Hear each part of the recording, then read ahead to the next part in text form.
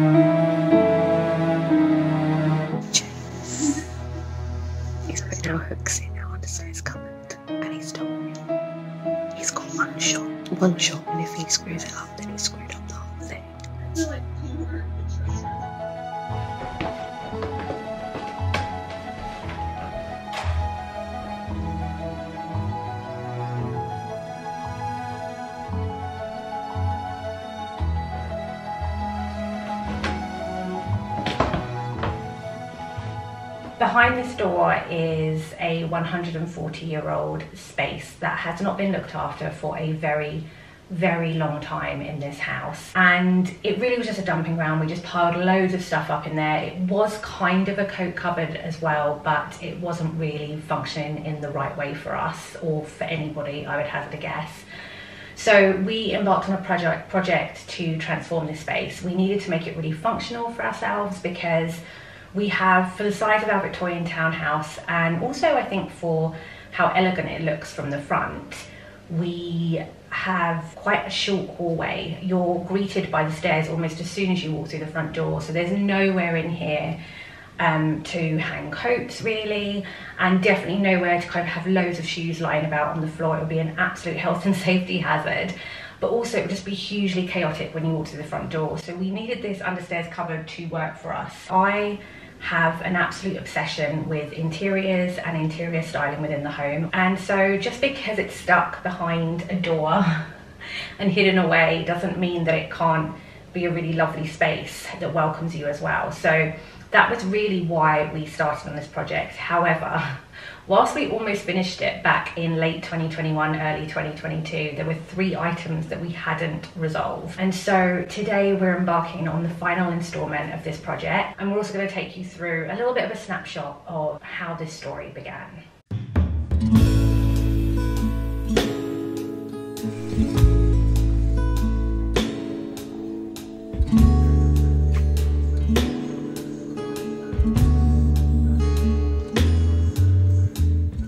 I think I was going to say, it's a shame we don't sell The screws brass to match. screws. I'm very distressed because I've got a notification from Dunelm to tell me my light um, that I've ordered for that understairs cupboard. Yeah, the light that I ordered about five. I think I ordered it last Sunday. Um, they've just suddenly messaged me today to say, "Oh, actually, we can't deliver it. We're out of stock." I don't know how it's taken them that long to decide that. He has fixed the hinges to the, this box chest bench thing. I don't think he'd done that um, when I left you last. And he has also Zinssered the lid as well because that was just the brown MDF. Um, this is obviously the same tongue and groove that's pre-primed anyway. So that's going to be your second one.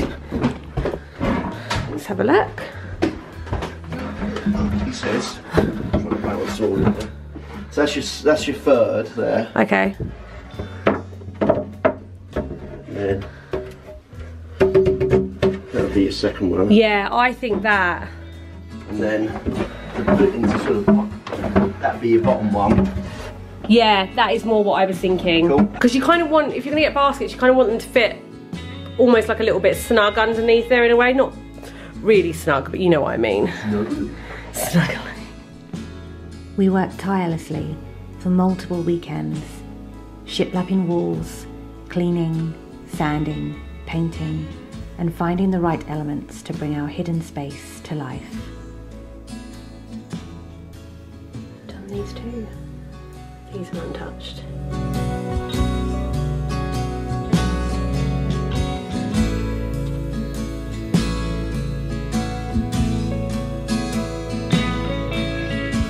I have now completed all of the painting of kind of walls and ceiling in here. So I've done about three coats of Dulux um, eggshell in brilliant white. And I've got the first coat of our floor paint on. We're using again our kind of um, Rust-Oleum chalk white matte finish floor paint. Um, it's what I've used on all of our like stairs and landings and stuff as well. He's putting our hooks in stairs cupboard and he's told me he's got one shot. One shot and if he screws it up then he screwed up the whole thing. We are picking up where we left off about a year ago, which was with our understairs cupboard that we have really tried to make really functional for ourselves, but also I have a thing about making even the small kind of hidden spaces really beautiful as well. And we got a really good way with that project. We practically finished it, but there were just some finishing touches that we didn't really get around to doing and we just paused on it across the last year. So across 2022, what's happened is we've put lots of things back in this cupboard and it's become basically a dumping ground again, which was not what this was meant to become. I'm gonna get stuck into this cupboard. So first of all, I need to clear it all out again. Um, I'm gonna do some measuring up for some storage bits that I wanna get today. And I'm gonna start inquiring about the last few bits and pieces that I need to sort with this, but I can also kind of show you again and remind you where we got to.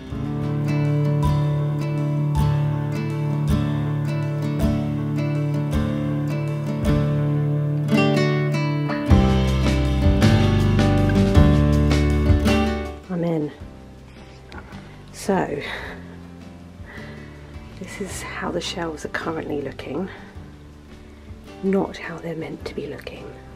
The shelves are fine, the placement of the items on them is not. And look, that must have come out of our um, Hoover, because we have not had a Christmas tree in here.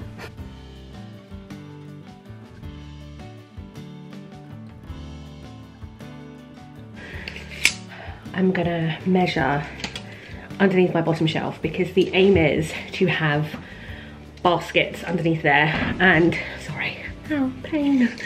um, a different basket for a couple of different things. So maybe like one basket for some cleaning stuff because we've only got a really small cupboard in the kitchen that can have clean stuff in.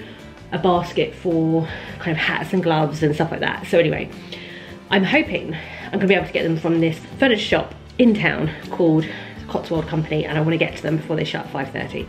I love this because I just set live a video today of the last two days of my life at home and it's meant to be like a really realistic view of when things are just not perfect by any stretch of the imagination and in that I tidied up my dining room and I would just like to say that we are not even 24 hours on and look just this is honestly just renovation dreams. And a room that actually wasn't messy now is as well. Absolutely fantastic.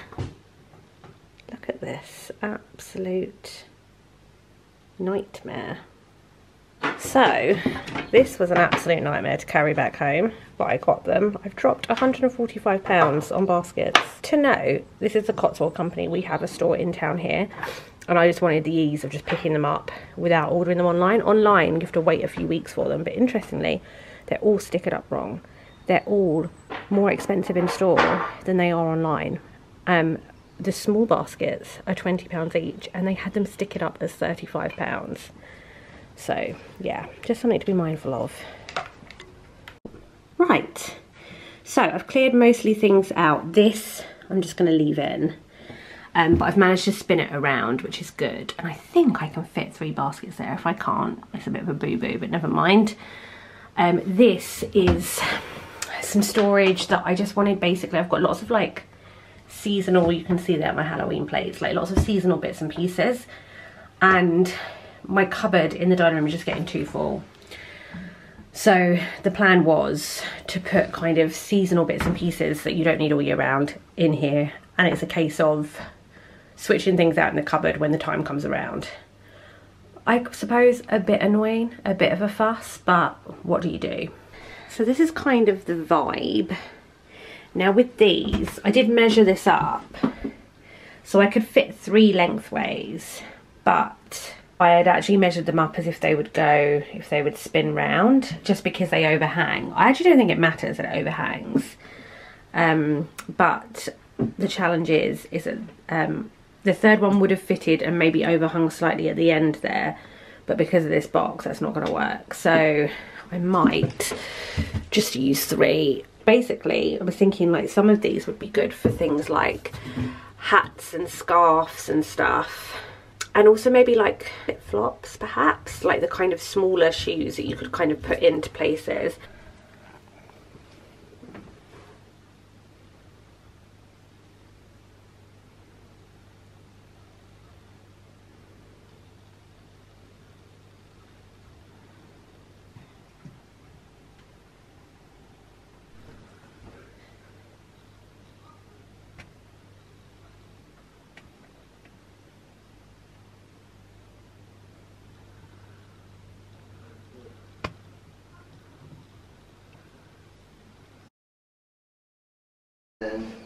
oh god i need to find down the stairs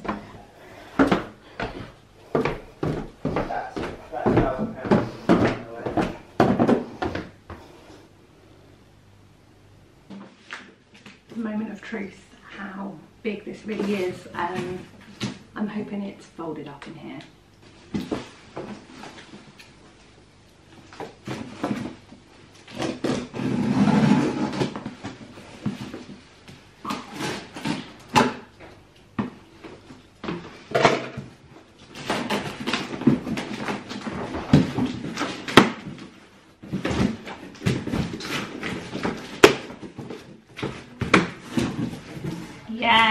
It is folded up i feel like that is more than thick enough although it's, it's a bit wibbly wobbly at the moment What's that? I said it's a bit wibbly wobbly at the moment where it's been folded up. Let me go in. Moment of truth.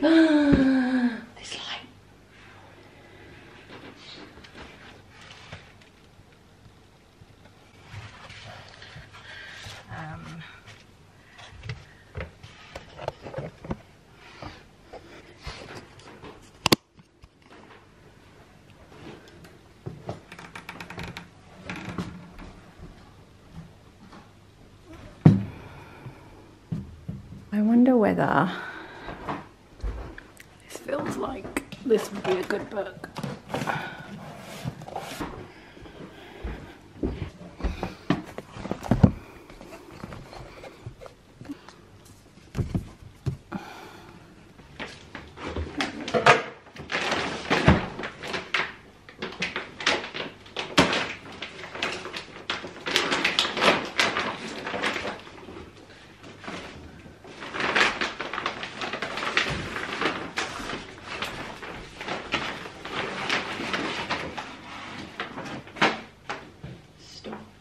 Or using this fabric, please check fabric is the correct print and length. Fabric is not damaged or faulty. No claims can be settled once the fabric has been cut. What's that do? I said, to be fair, I think I probably, I think I've ordered way too much fabric. I could be wrong, but I think I have. But to be honest, we could use it for something else. Like I could have some cushions made up or anything, couldn't I? Oh, I love it. Oh my god, I love it. Feels like a shame to almost have this in a cupboard. It was on sale as well. I say on sale. It was 20 something down from 30 something maybe.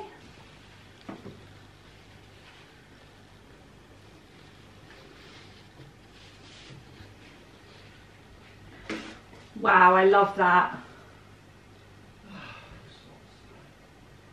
Oh, I'm so pleased. This is actually nicer in real life than it was is on the website, I think. Hey, what? That'd be good for curtains. I don't know if you can do curtains in that. Oh, that is just gorgeous. I've got way too much fabric. How to Waste Money by Louisa McNally. Oh, Yeah, but what you might have was, done, worried, I was worried about because of wrapping it round and stuff like that. what what they might have done though is they might have. gi- It might be because they've gone right. What's on that roll? Oh, there's only X amount. Just give it the rest of the roll. I roll. ordered three metres, which I think was probably too much, but I was more worried that I wasn't going to have enough. Yeah. You think of it? It's nice. It's lovely. You can make some cushions out of it. Funny. Love it. It's oak and acorn.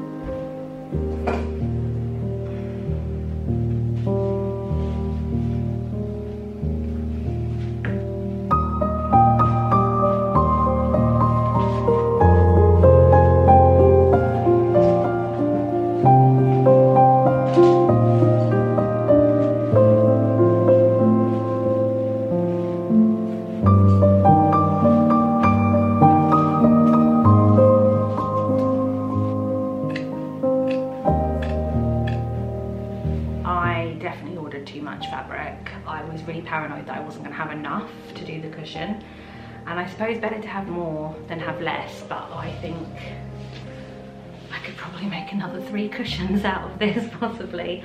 Um, but I really love the fabric, so maybe I can use it for something else. Um, we are hoping to do a project up on our very top floor, which is going to be our like main spare bedroom, and also it's my office as well that I work from. The vibe I think I'm going for that is very kind of cottage attic room inspired in some way, and so I can really really imagine this kind of material in there. So I can probably reuse it for something. I suppose the only pain now is finding a home for it in the meantime. I guess the only shame about it is that I, it was about 20, like early 20 pounds um, per metre and I ordered three metres and so I spent like 60 something pounds on it and then because I wanted it to arrive for today, otherwise I was gonna have to wait till next week, I paid another like 15 to get it here for Saturday. So I, I spent about 80 pounds on the material and as I said, I definitely, I definitely did not need 80 pounds worth.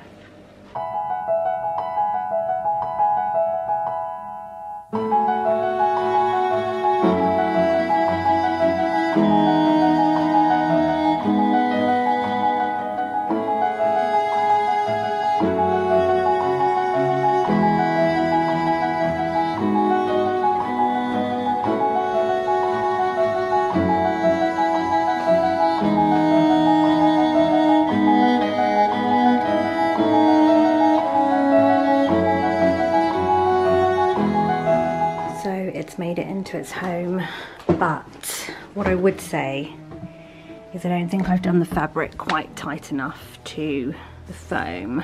I did it as tight as I could get it by myself, but I just sat on it just then and it's like rippled there, which has left some creases. So I think I might have to have a bit of a fiddle, but that's for another day. So this is the the final piece for this space, which is our light. So I actually originally ordered a light from Dunelm for just £10 and it was meant to be like a hanging light bulb. I really love that style and we've got a few of those kind of lights in the house already. Um, and we were going to have a hook up here and hang it through there but what I hadn't really appreciated, it was styled as a bedside table light when I bought it, but I hadn't really appreciated that the switch, whilst it was on quite a long lead, the switch was actually really close to the plug socket. So it would have meant that when James and I came in here, we'd have to literally crouch right down and practically turn it on at the plug.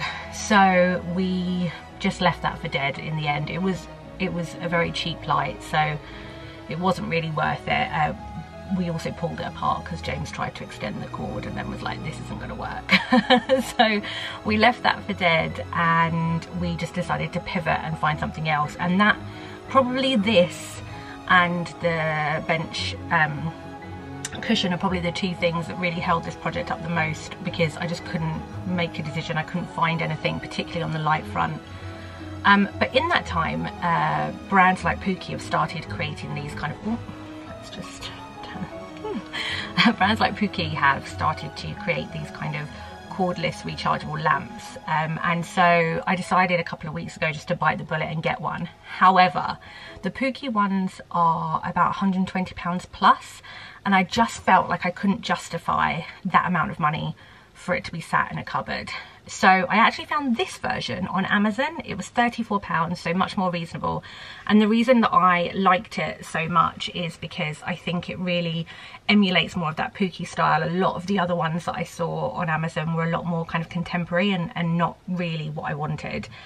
The other reason why, sorry, I'm just moving this. the other reason why I really liked this one was because I'd read in the reviews that people had changed the lampshade. So I liked the fact that you had that option. And I had kind of thought initially when I bought it that I would. Not that there's anything wrong with this per se, but I thought I could get something a little bit more expensive, which would just elevate this lamp um, that little bit more. Um, but now that I've kind of got it in the space, um, this is on the lowest setting at the moment. So um, there are two brighter settings. It's just the right amount of light for us to be able to do what we need to do in here, but it's by no means that bright. I, I can't compare it to what the Pooky ones are like because I've not actually seen them in real life, but there's not huge amounts of light with this. Um, and so I'm just a little bit concerned if I got a different lampshade that it might dull that down even more. And because we are using it for the reason we're using it for I kind of am not really willing to to lose any more light so yeah that's essentially the story of this lamp. It arrived two weeks ago. You plug it in at the back here and then you um, charge it up. Apparently after charge it lasts for eight hours but I can't judge that because we obviously only have it on for like a couple of minutes at most at a time.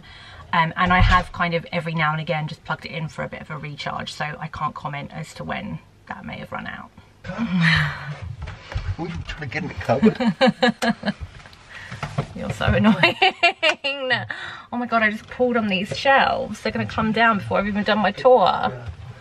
Just plug the charger in for the other one. Okay, I'm in oh. trouble because I've not plugged the hoovers in when I meant to.